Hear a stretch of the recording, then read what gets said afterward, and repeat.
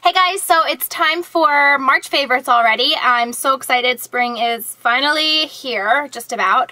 Yeah, spring's here.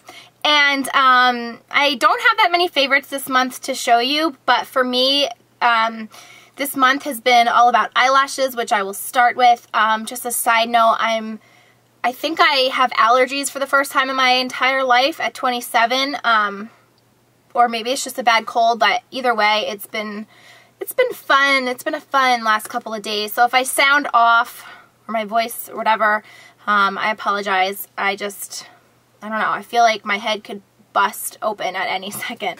But anyway, lashes, lashes, lashes. I finally found like my holy grail pair of eyelashes.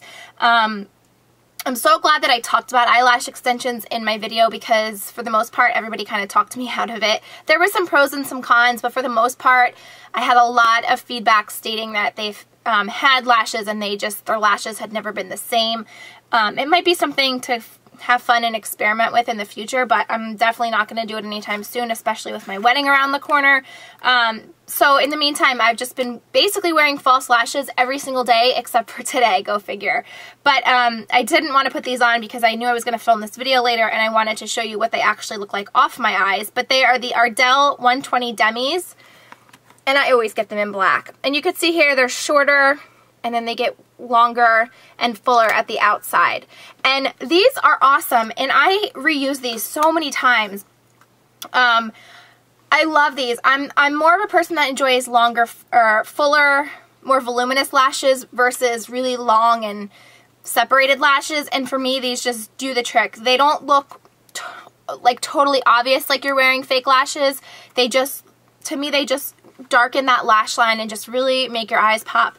Um, I get a lot of compliments when I wear these. One time I was actually doing a presentation for work and I got through the whole presentation and I I asked if there was any questions at the end and one of the nurses, um, she's like, yeah, what's up with your eyelashes? like, it was so random. But anyway, um, I love these. I usually get them at Sally Beauty. I actually even went on eBay the other day to see if I could find like a bulk pack for cheaper since I wear them so, mu so much because it started where I would just pick up lashes here and there and try to experiment and see which ones I like, but I've decided that I really like these. I do like the Ardell 305s, like half lashes, but these are the first full band lashes that I have found that I wear comfortably and that don't look totally crazy and the inner lashes don't bother me, which is why I really don't I never really enjoyed wearing the full band lashes before because that inner corner just always bothered me, but these are like the perfect fit and size for my eye.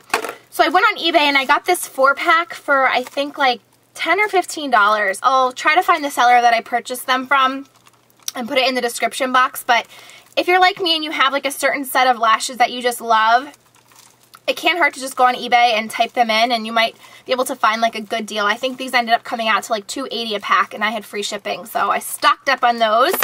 Um, definitely going to be wearing, I'm not sure if I'm going to wear those for my wedding or just a lot of individual short lashes towards the end, which is how my makeup artist did my lashes for my trial and I loved it. So I'm kind of just going to leave it up to her. With that being said, I have found a new lash glue thanks to all of you. I had talked about how I really wasn't a big fan of the Lash Duo smell in my one video where I was talking about, and a lot of people recommended the Revlon Precise Precision Lash Adhesive.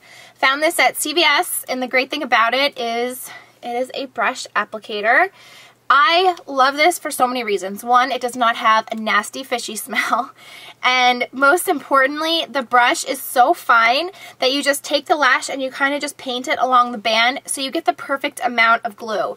It doesn't get too goopy or, you know, fall onto the lash. It just coats the band evenly and perfectly and you can go back and add more to the ends if you need to and it's just perfect. I find that with the Lash Duo, you know, I've tried different techniques of applying it to the lash band and it just never comes out like perfectly even. It, I, I, always do like either too much or too little. And ugh. So anyway, this is my new best friend and I love this. And like I said, I found it at the drugstore.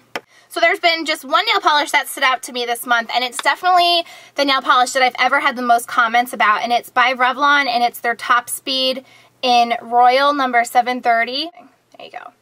Um, it is this gorgeous like Pacific blue and I think yeah there's like a true color of it a lot of people said it has a lot of purpley undertones but to me it's like a true dark dark dark blue If you guys remember that one Express shirt that I got in one of my hauls, the silky one, it's like that color.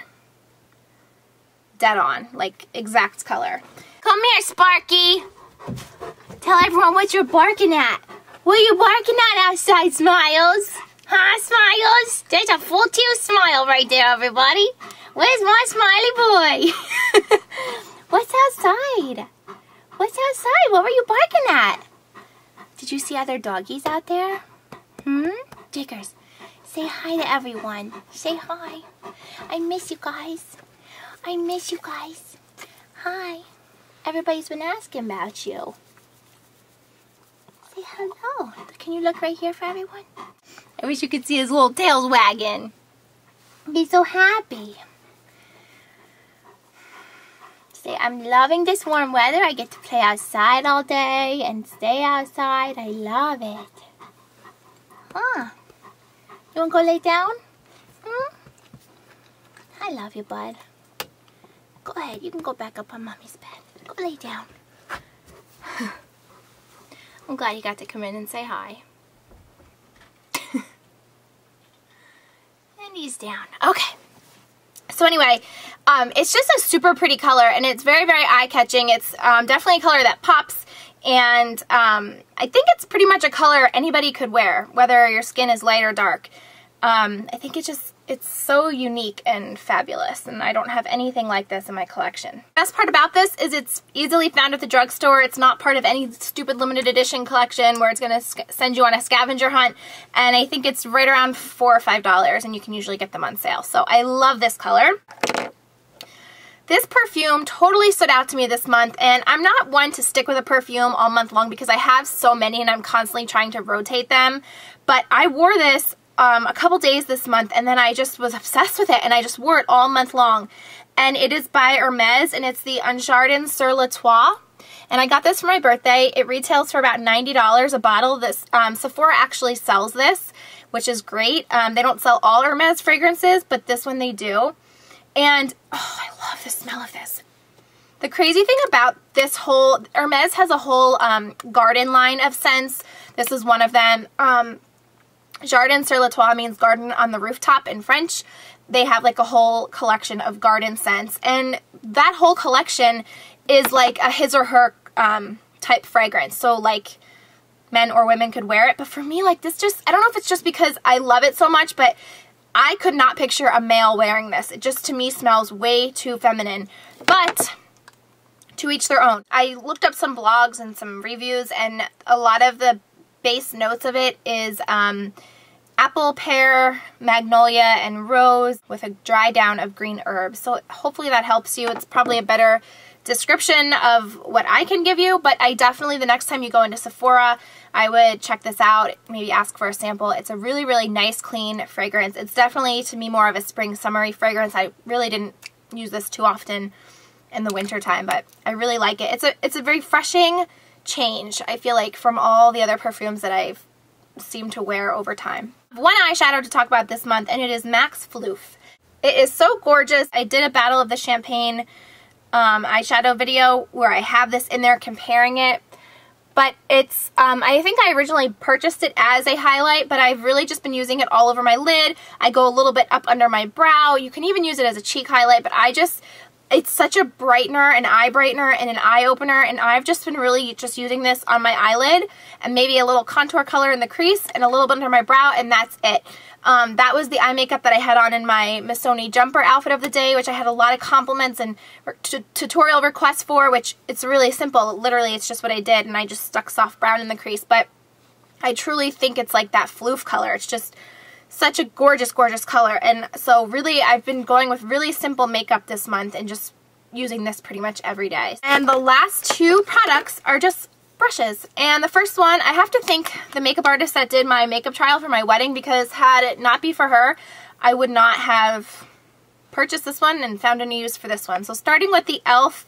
powder brush, all of $3 at your local Target. I have been using this all month long for blush. And I used to have this brush and I never used it. I originally purchased it as a foundation brush and I hated it. I just, I'm very loyal to my Sigmax brushes for foundation. And so it just kind of sat in my collection and collected dust. And then my makeup artist, when she did my makeup, she actually used this brush to apply my blush. I don't know if I ever did try it and I just didn't like it. I don't know. But I have been loving it. The perfect thing about this brush is it doesn't pick up too much color. So it helps you to really build up those blushes if you want to. But it's also a really great brush to use with your really, really pigmented blushes that are really vibrant and have a lot of pigmentation that you need a light hand with. This is the perfect brush for that. It is pretty dense, but it's not dense like a kabuki brush would be. Um, so it just puts on like the perfect amount of color. It's incredibly soft, and I just, I love that I found a new use for this. And I've totally been using this all month long for blush application, so that's great. And the other brush is the Sigma Large Powder F20 brush. And the funny thing about this brush, I used to use this constantly for powder or contour and bronzer. And um, my makeup artist, um, when the girl did my makeup for the wedding, she took this MAC brush, and it's long time discontinued. It was one of the one, like the little kabuki brushes in the kabuki line. It was the black handle with white goat hair.